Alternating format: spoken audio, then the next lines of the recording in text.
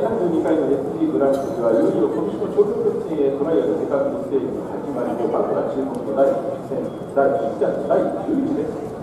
7時間に過ぎた環境をとさあワンタジでしょうか風はなく穏やかな水分上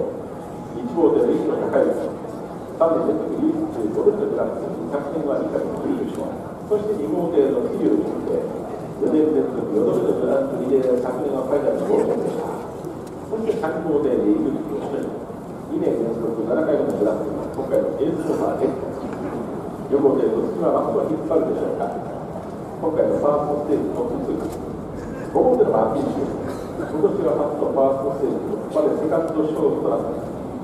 6号艇の森高和馬グランプリファースト出場見事セカンドステージ進出でさあ、5号艇が出場から1位が3頭となっておりますラッシュ手が4号6で安全に3対3と少し早めに出たいという方が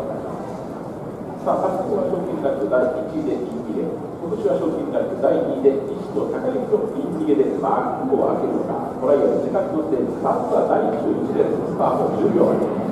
インコから1番から3番、4番、5番、6番、3番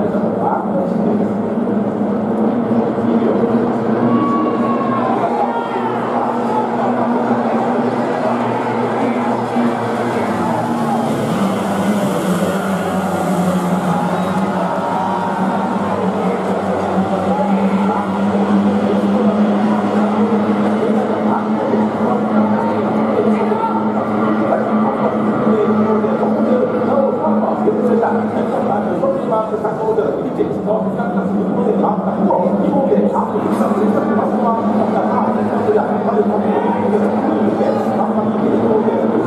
2秒。が、大きく近づ